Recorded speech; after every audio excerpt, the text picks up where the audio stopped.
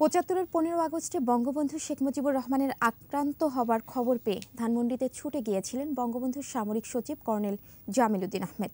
বত্রিশ নম্বর বাড়ির সামনে পৌঁছালে ঘাতকরা গাড়ির মধ্যেই তাকে হত্যা করে। বাড়ি থেকে বাবার শেষবারের চলে যাবার দৃশ্য আজও জলজলে কন্যা কঙ্কা জামিলের কাছে। প্রণব চক্রবর্তীর প্রতিবেদন। উনিশশো পঁচাত্তর সালের পনেরো আগস্ট ভোরে ধানমন্ডি বত্রিশ নম্বরে যখন হামলা করে খুনিচক্র, তখন বঙ্গবন্ধু শেষবারের মতো ফোন দিয়েছিলেন তার সামরিক সচিব কর্নেল জামিলকে। বাড়ি ঘেরাও করে আক্রমণ করা হয়েছে, টেলিফোনে এ কথা বলতেই কেটে যায় লাইন। সেই কালরাতে দেশের নেতৃত্ব অচল হয়ে পড়েছিল, কিন্তু কর্নেল জামিল তার দায়িত্ব থেকে সরে আসেননি এক চুলো। বঙ্গবন্ধুর বিপদের কথা জেনে ছুটে গিয়েছেন বত্রিশ নম্বরের উদ্দেশ্যে। পরিবারের সবাইকে ফেলে বাবার চলে যাবার সে দৃশ্য আজও জলজলে কন্যা কঙ্কা জামিলের কাছে। বঙ্গবন্ধু বললেন যে, জামিল কে বা কারা আমাকে এটা অ্যাটাক করেছে আমি ঠিক বুঝতে পারছি না।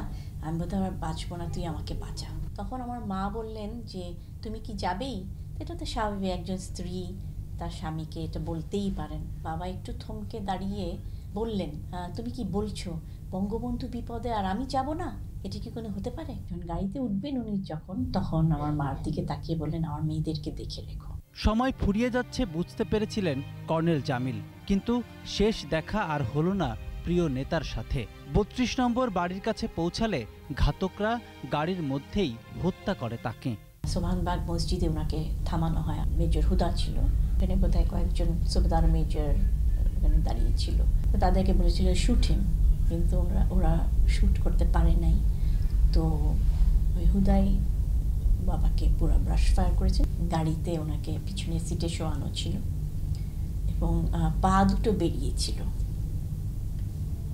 তো দেখলাম, দেখে পা দুটো ধরে দেখলাম।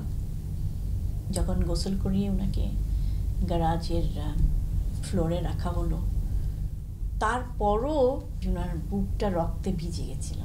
পাকিস্তান মিলিটারি একাডেমিতে প্রশিক্ষণ নেয়া কর্নেল জামিল স্বাধীনতা যুদ্ধের সময় জিম্মি অবস্থায় ছিলেন পাকিস্তানে। একজন সেনা কর্মকর্তার আন্তরিকতা এবং পেশাদারিত্বে মুগ্ধ হয়ে স্বাধীনতার পর বঙ্গবন্ধু তাকে তার সামরিক সচিব নিযুক্ত করেছিলেন। অন্যদের মতোই নিয়েছিলেন বঙ্গবন্ধুকে রক্ষার শপথ। আমার মা ছোটবেলা থেকে আমাদেরকে বলেছিলেন যে দেখো তোমার বাবা একটা মহৎ উদ্দেশ্যে, মহৎ কাজের জন্য উনি জীবন দিয়েছেন। এবং জাতির পিতা তাকে বাঁচাতে গিয়ে। তোমরা কোনোদিন এটাতে দুঃখ পাবে না এবং মন খারাপ করবে না। দুই হাজার দশ সালে কর্নেল জামিলকে পদবি দেয়া হয় ব্রিগেডিয়ার জেনারেল এবং অসীম সাহসিকতার জন্য মহান এই ব্যক্তিকে ভূষিত করা হয় বীরুত্তম উপাধিতে। প্রণব চক্রবর্তী, একুশে টেলিভিশন, ঢাকা।